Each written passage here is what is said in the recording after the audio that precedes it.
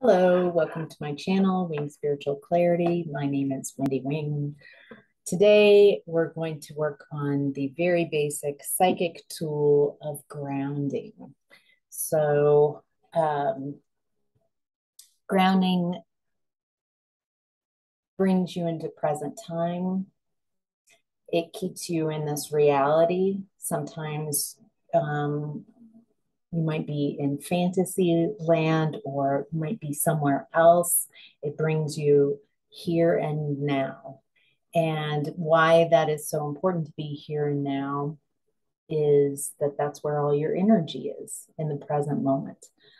Uh, it's also fantastic for those of you who feel uh, run maybe some more depressed energy. Depression is being in the past or you might be more anxious. Anxious energy is being in the future, um, being worried about the future. So your energy is out in front of you instead of right here, right now. So there are just wonderful benefits to being present and being grounded. So let's go ahead and do a quick meditation to set up that grounding cord. Um, and you can do this every day. You can do this a couple times a day. If you're going through something really difficult, then that grounding cord. Um, I know when I'm going through something difficult, or I've seen some of my clients who are just really releasing a lot, they blow out their grounding cord um, during the day. So, um, and you can use your discernment to figure that out. So, Let's go find somewhere really comfortable to sit down where you can close your eyes or you can lay down um, and kind of get all your squiggles and wiggles out so you can sit quietly and comfortably. And when you're ready, then go ahead and close your eyes. You don't need to look at the video. And just bring your energy to the center of your head space. Let anything go from outside of you in this moment, really giving the gift of just being present right here, right now. There are high vibrational angels, ascended masters, healing beings, and even elementals, it looks like high vibrational earth energies who would like to help you. Uh, if you would like their assistance, then just say yes, and they will help you with this grounding. So, from that center of headspace, just focus your attention down to where you're sitting or where that base chakra, tuning into that energy of the physical world, of your body, that very physical experience of that base chakra. And that's where we're going to attach the grounding cord from that base chakra, imagining, envisioning a column of light energy from that base chakra all the way down to the center of earth.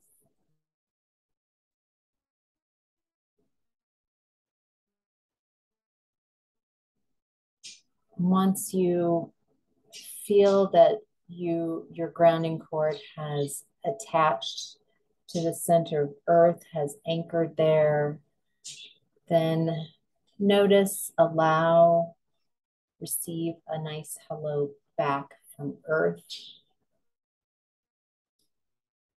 Seeing her earth energy, Gaia's energy come back up around that grounding cord on the outside. And then when reaching you, encircling your aura, in this beautiful, loving, protective energy. Some of you might be noticing that you feel a little heavy, that being grounded makes you feel more like that um, dense, making makes you feel gravity in a way that when you're out of your body, you don't have to experience, and that that is okay. You are here, you're now. And with intention, let's set that grounding cord on maximum release. So, noticing if there's anything in your body that's feeling sluggish or dense or tense, just feeling somatically or seeing if there are any areas, however you feel or see or experience your body, your being present. And when you come across an area that feels a little dense, just allow it to liquefy and go down that grounding cord. And then move on to another sluggish area, maybe a little tension, a little pain. Just noticing those spots. There's nothing that you're doing other than using your attention and your energy right here and right now to just notice and allow that energy to move. You might even notice that some of the beings, the light beings, ascended masters, your healing guides are around you if you've invited them and they're moving that energy down the grounding cord.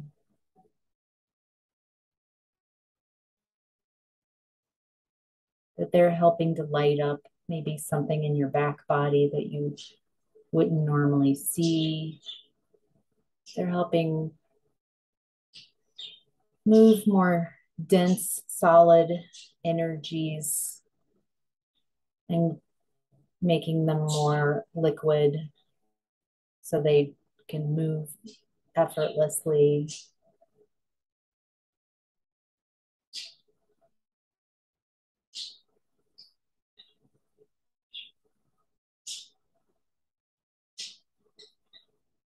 You might yawn. Yawn or sneeze is a wonderful way to release energy if someone yawns in your presence, it's not a hit to your ego. They're just releasing energy.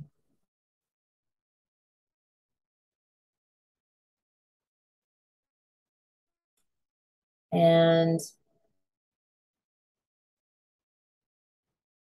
I'm getting to look at, um, it looks like collective that base chakra, around that base chakra, there's some type of beliefs about um, not letting go.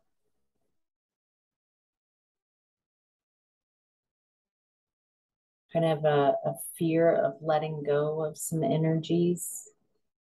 And the energies that you're wanting to hold on to are, it's not your energy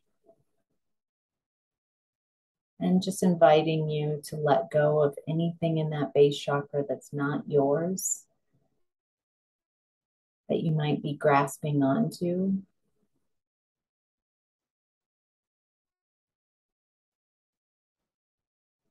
Something that's out of present time, something that's not yours.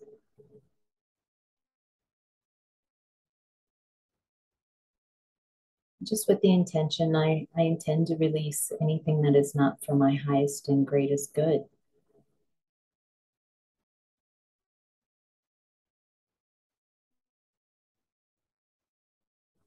Nice. And let's just invite um, a nice uh, light energy from above your head, from Source, God, Creator, the I am that I am. Inviting a nice, bright, white column of healing light. You could feel it maybe as it hits your crown chakra and clears and cleans, and then moves to your third eye chakra, activating, clearing, cleansing, releasing any beings that are in your space, anybody else's energies, allowing that light to move to your throat chakra, clearing any lie energy, anything that says that you can't speak your truth, and letting that light travel to your heart chakra,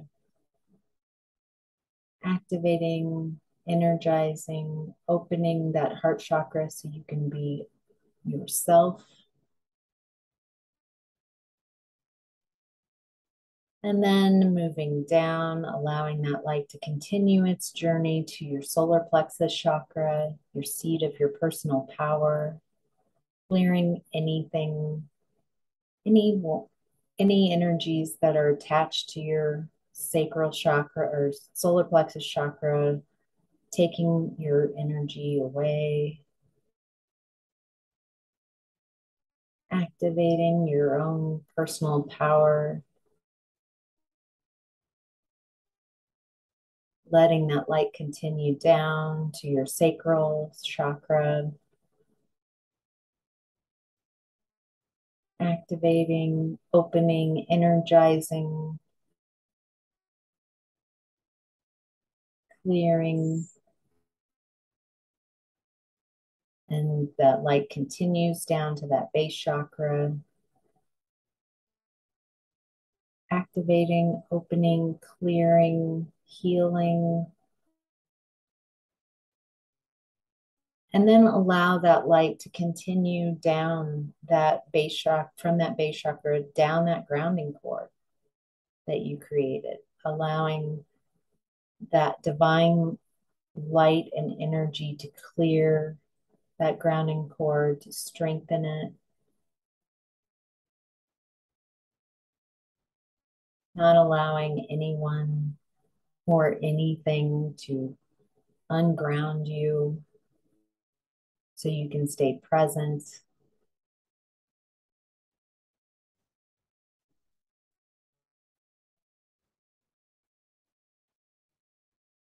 Allowing that light to connect with earth.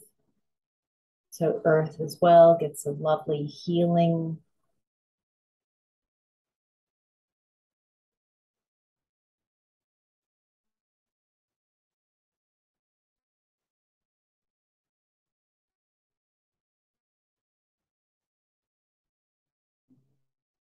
Really letting go of anything that's causing disturbance in your space, just releasing any tensions, any lack.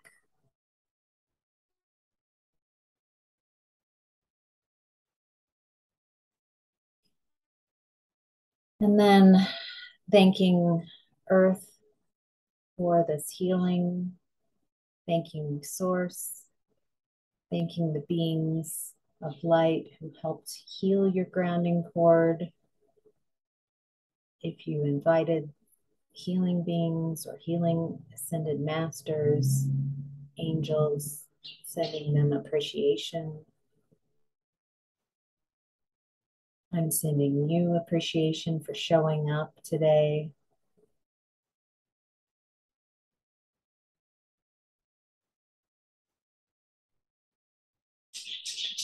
And then when you're ready,